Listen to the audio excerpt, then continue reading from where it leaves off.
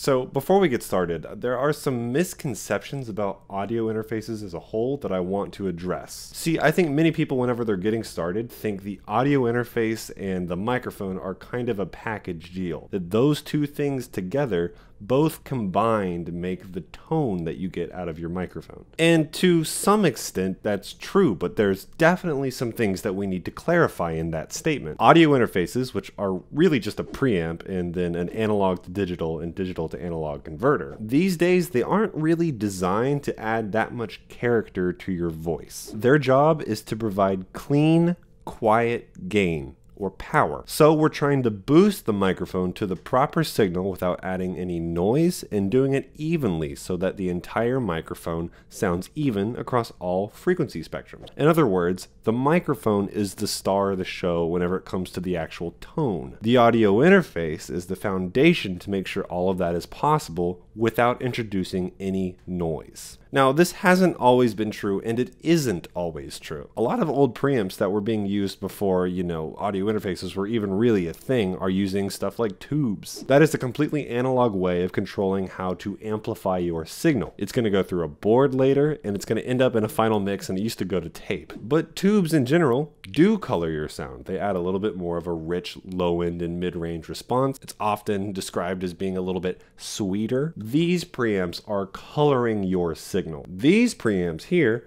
are not coloring your signal. They're trying their best to remain what we call transparent. Unless it's something like a Universal Audio Apollo Twin, which actually has emulations of these old tube preamps built on board, most of these things are really trying not to color your signal. They're just trying to bring your microphone up to a proper level as efficiently and as quietly as possible. And whenever I say quiet, of course, we're talking about preamp noise, hiss, not the actual microphone itself. Why am I saying this in the first place? Well, if you're looking into this interface, the UM2, you're probably not that familiar with all this tech. And you should know when you're buying the UM2, you're buying a supporting role. It's not the defining feature of your sound. Your voice is the defining feature of your sound, followed by the microphone, followed by probably processing that you're going to be doing down the chain. So therefore, whenever I'm analyzing this interface as compared to analyzing a microphone, I'm going to be looking for different things. I'm going to be looking mostly for noise control, followed by preamp power and gain levels, and then third, probably build quality, in that order of importance. Okay, so I have what might be one of the most decisive and controversial parts of this review,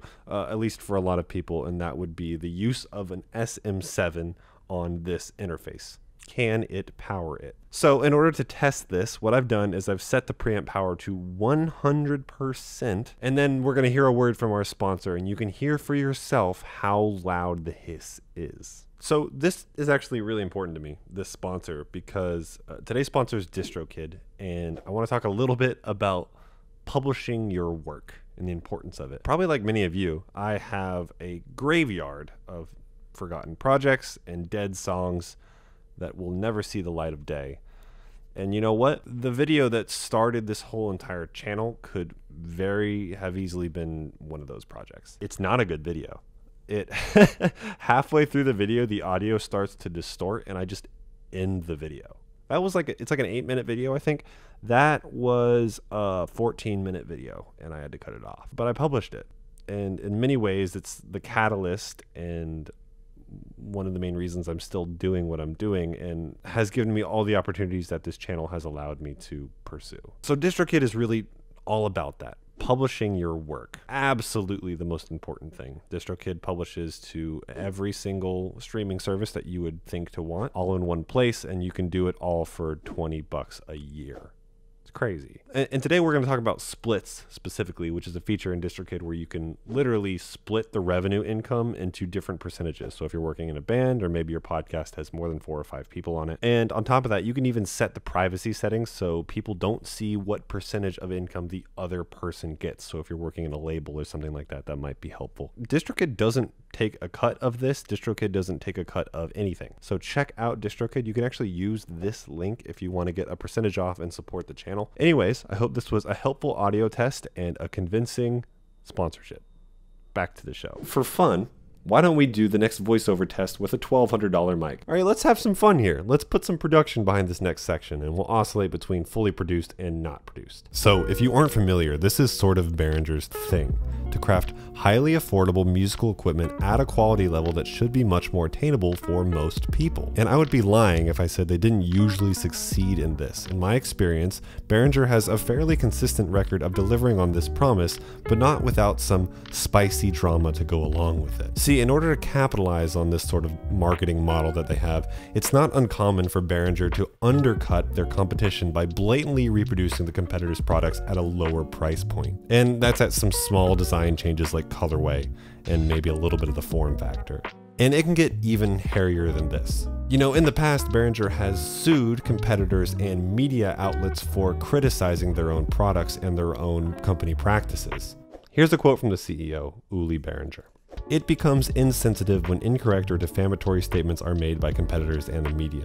While there is free speech, Words do have consequences since we are all bound by the law. The rules should be applied equally to everyone. I would be lying if I said this didn't make me a little bit nervous what I'm doing right now. So I suppose now would be a good time to mention that these are all my own personal and fair opinions. So thankfully things seem to be getting a little bit better on this front and all this information has mostly been informed by Ben Jordan's video that I highly recommend that you go watch. He did a huge deep dive on this issue. He's been in contact with Behringer about these issues, including other issues I haven't touched on, and there seems to be progress being made. And to begin talking about the hardware, why don't we switch from the $1,200 microphone to the $100 SM57? So hardware is certainly a place where quality begins to dip, and that's pretty expected probably. It's $45.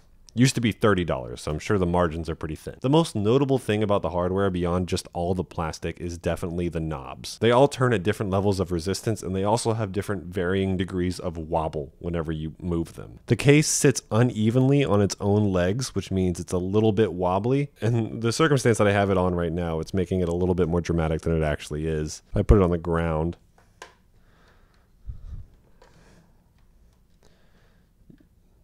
It's pretty solid. Hard to pick up on camera whenever you put it on a flat surface. Let's keep it there for now. It's got one XLR TRS combo jack, meaning you can put both a quarter inch cable and then also an XLR cable into it. So that's any instrument that has an output cable for a quarter inch cable, which is the cable any electric guitar takes, and then any microphone cable. On top of that, you get one extra instrument input as well. On both of these inputs, you have basic clip monitoring to make sure you're not hitting too hot of a signal on the way in, and your direct monitor switch, which allows you to switch from your mix signal and your direct monitor signal. And actually on my unit, this button feels awesome. I've seen some other reviews where they say this is a little bit of a wobbly button, but it's super solid, probably the most solid thing on the interface. The only real feature I dislike a lot is the lack of true quarter inch outputs on the back of the interface. So that means the monitors that you're using, if they don't use an RCA input, which these have RCA outputs, then you can't use them. That means the amount of gear you're able to use on this interface is fairly constricted. You need something with an RCA input. Now, to be fair, if you're going to be using this interface, you're probably going to be using a small enough monitor that they're going to be using RCA cables in the first place. But still,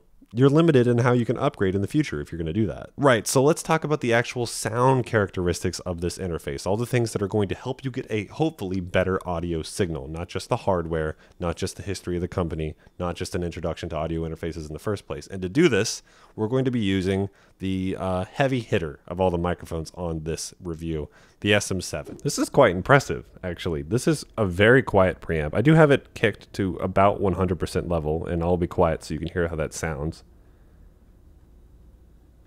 That's really quiet. That actually might be quieter than my Scarlett. And then we are peaking at around negative 12, which is absolutely fine. I've done a whole video on this. You don't need to get up to negative 6 dB uh, full scale, which is what a lot of people think you need to do. You can just do some processing, EQ, compression, gate. It's going to sound way better anyways. You don't need a Cloudlifter. I did a whole video on that.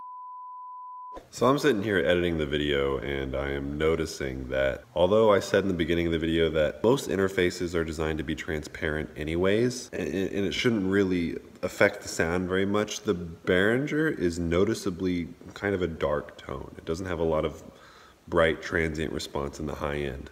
Something to keep in mind, I don't know what's doing it, but it is making the mic darker than it would be normally. Goodbye. Anyways, these preamps are surprisingly quiet. For $45, this is pretty nice. Let's get into the actual specs, yeah? I think one thing to take into account though is this interface is not going to be capable of recording at 24-bit. Now, because this is a beginner interface, I'm sure I need to probably explain what that means. Bitrate is actually dynamic range, or essentially how loud you can get without clipping. It's the range in between your quietest possible signal and your loudest possible signal before you begin to distort. 24-bit bit, bit means binary digit, means that your computer can start to code that audio signal at a finer digital resolution. Now you do have 48 kilohertz sample rate, which is uh, uh, really just fine. You don't need to do any level of streaming audio past that. I'm one of these people that really does not believe in 96 kilohertz or anything above that especially if you're using an older computer. You can't really hear a difference if you're a regular human being. Now, in terms of sheer output levels, how loud this thing can make your headphones or your speakers, it's said to reproduce 100 dBA. This is not true. Our friend Julian Krause actually tested this, and actually the components inside of the audio interface are only tested at 89 dBA as their maximum volume output. Still plenty. The actual preamp noise is surprisingly good. It is a quiet interface. It might be built a little bit cheaply.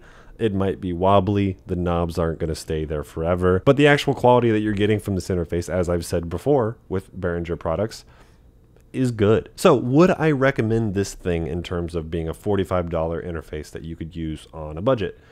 Hell yeah, I would. This thing is really a great option if you just need something that's a little bit more accessible and affordable. You're going to get really quite nice audio quality. Maybe the only weaknesses being the fact that you can't record at 24 bit.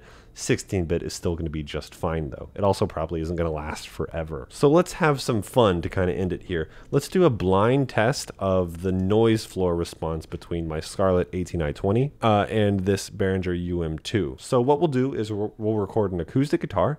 We'll do it with the Lewitt 440 a condenser, and then the SM7B, a dynamic, and then we will hear the preamp levels of both. Is this actually a quiet interface when you compare it to kind of the next level up, or is it noisy and I'm hearing wrong? Let's do it.